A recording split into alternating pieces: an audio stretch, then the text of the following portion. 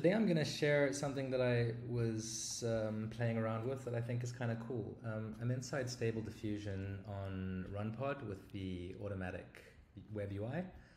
Um, so I was looking here at, um, at scripts, and there's a thing called XYZ plot, which sounds kind of fun.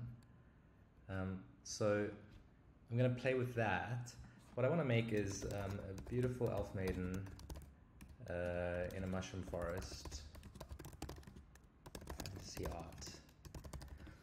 Um, and so I guess you can imagine how that would look. But what I've learned is you can mess with some parameters to create a sort of matrix. So I'm going to go, um, let's do a different prompt. So I want elf maiden. I also want elf man. Um, so what I've what I learned is that it looks for this keyword. Um, so you have to have the, the keyword first, and then it replaces it in subsequent ones. You'll see what I mean now. Um, okay, and then we also want to swap out, let's say we want to swap out mushroom forest for an ancient kingdom. Okay, and then just to play with the seeds, let's just try like three different seeds. So we're going to set 1, 2, and 3 as the seed. Um, we're going to do Elf Maiden and Elf Man, and we're going to do Mushroom Forest and Ancient Kingdom. So let's just see what happens.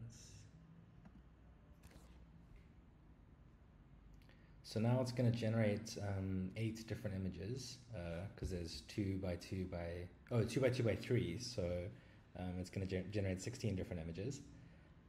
So um, you can see it stepping through them all, and then it's going to give me a cool matrix.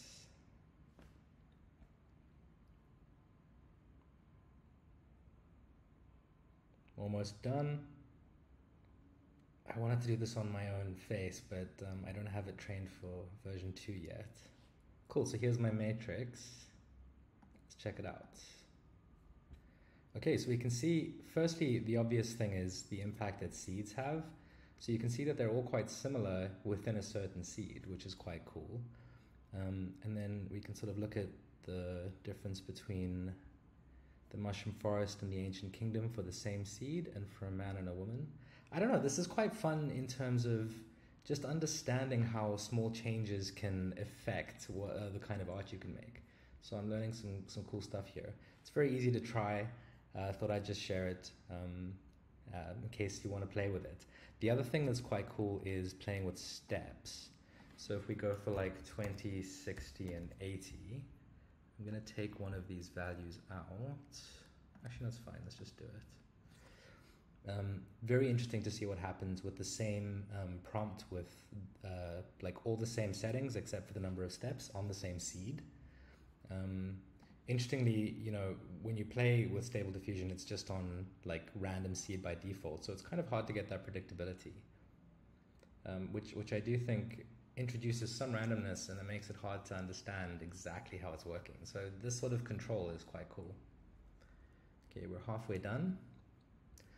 Um, I did notice that there's prompt matrix and prompts from file, which I think is also a similar thing.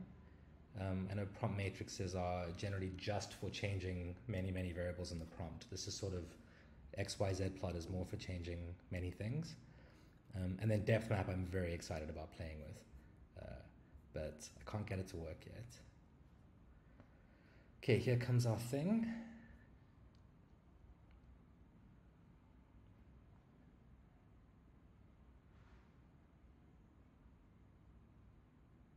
That's cool.